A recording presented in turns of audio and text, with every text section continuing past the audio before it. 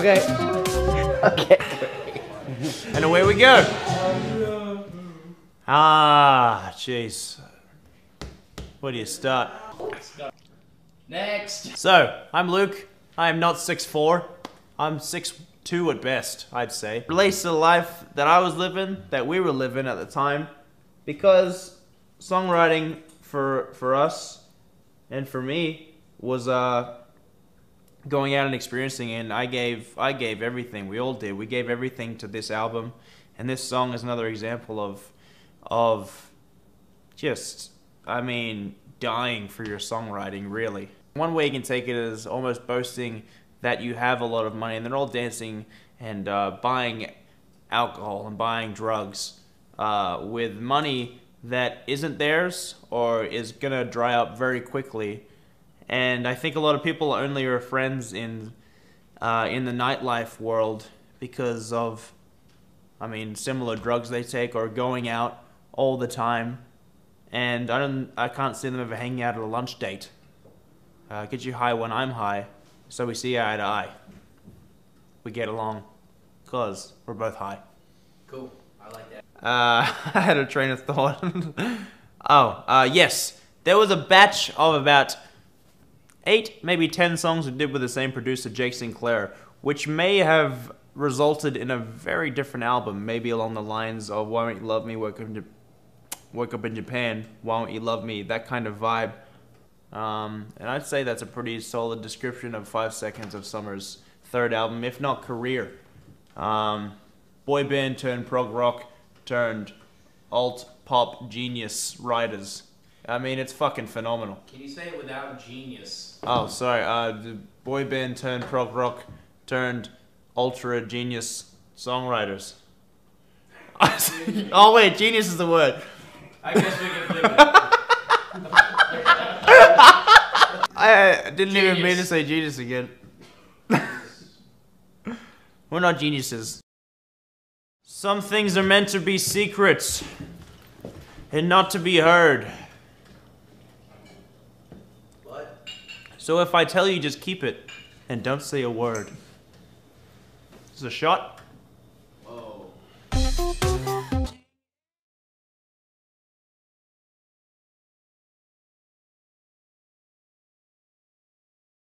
that's a hefty way to start off a song, huh? Huh? With that lyric?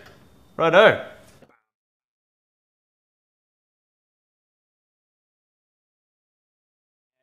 Hey, we're back. Another segment. We got a new song for you. It's called Talk Fast. Yeah, I'm fucking drunk. So, this song's awesome. I love that it brings back kind of the. It makes me feel good because it brings back. It reminds me of like She's Kind of Hot and uh, Good Girls in, in a weird way because it has kind of a quirky lyric, but it's, you know, a better quality song in my opinion. Ghost of You. Um, you, uh.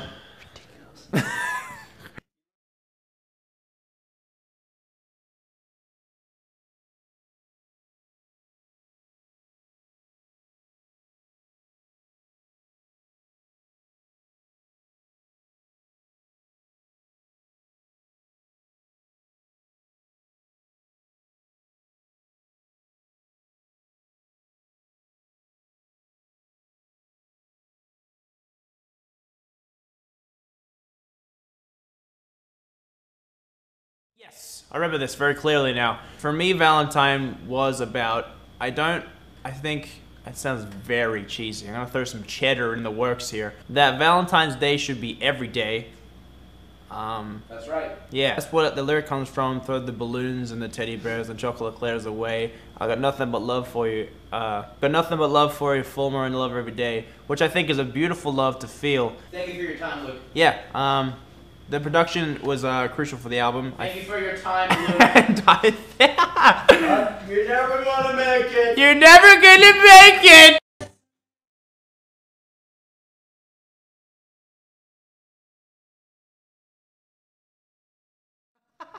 Good. I'm a little drunk. Oh, sorry. Want you back? Can we, uh, uh, s- s- Think, think of anything uh, else that's some abstract. stack. Making stacks. Oh, I like that. I was gonna make some stuff. I was gonna make some stacks. Fun fact, for me, the first inspiration was, I don't know if you've seen the show, This Is Us. there's this bit in the show where he there's the dude that delivered the baby. You know what I'm talking about, Hogue? I delivered a couple babies in my time. This guy is the guy. He's the older gentleman that delivers the babies. It's out. Cheers, man. Cheers, dude. That was not Are you safe. talking about the office? No, this is us. Alright, we'll go hang with Jack. I'll be back. Jack Barakat from All Time Low.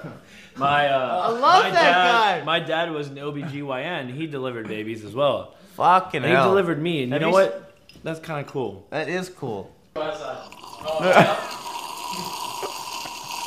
This really fell to pieces.